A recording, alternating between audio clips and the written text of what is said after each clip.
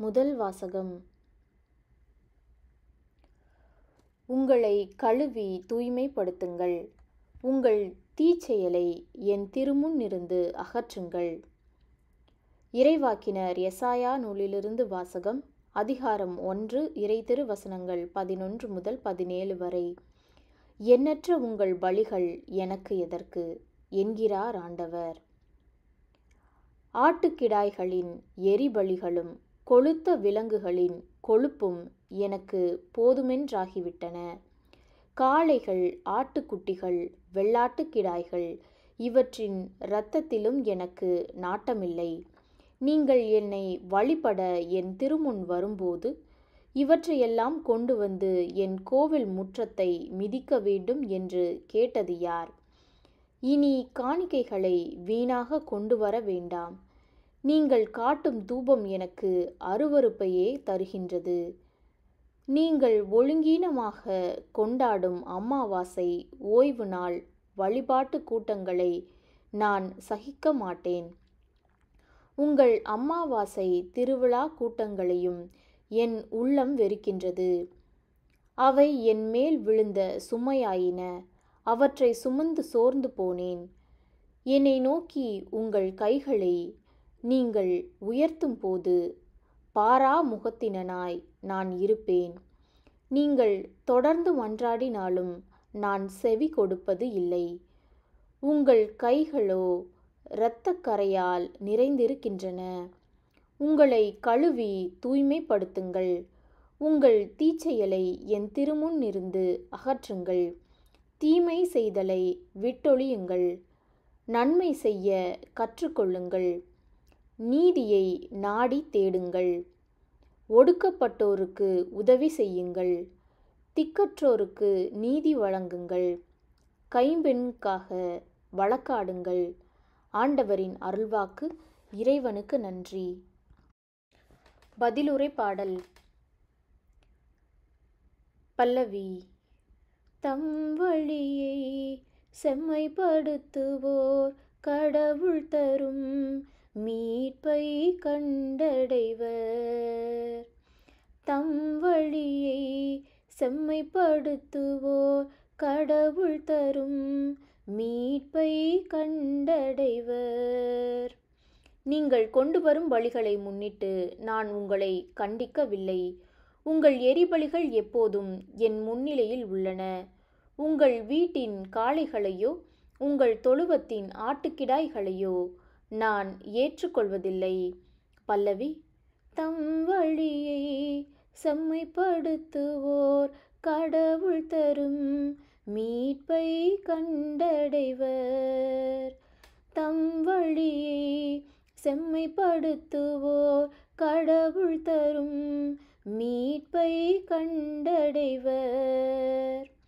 என் விதிமுறைகளை ஓதுவதற்கு உங்களுக்கு என்ன தகுதி? என் உடன்படிக்கை பற்றி பேசுவதற்கு உங்களுக்கு என்ன அருகதை? நீங்களோ ஒழுங்குமுறையை வெறுக்கின்றீர்கள். என் கட்டளைகளை தூக்கி எறிந்து விடுகிறீன் விடுகின்றீர்கள் பல்லவி.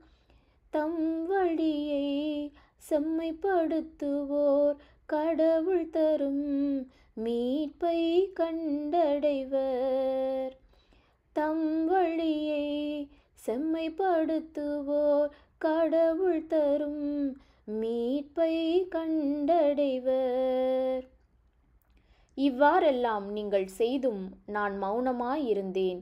நானும் உங்களைப் போன்றவர் என எண்ணிக்கொண்டீர்கள். ஆனால் இப்பொழுது உங்களை கண்டிக்கின்றேன். உங்கள் குற்றங்களை உங்கள் கண்முன் ஒவ்வொன்றாய் எடுத்துரைக்கின்றேன். நன்றி பழி செலுத்துவோர் என்னை மேன்மைப்படுத்துவர். தம் வழியை செம்மைப்படுத்துவோர் கடவுளாம் நான் அருளும் மீட்பை கண்டடைவர். பல்லவி தம் வழியை செம்மைப்படுத்துவோர் கடவுள் தரும் மீட்பை கண்டடைவர்.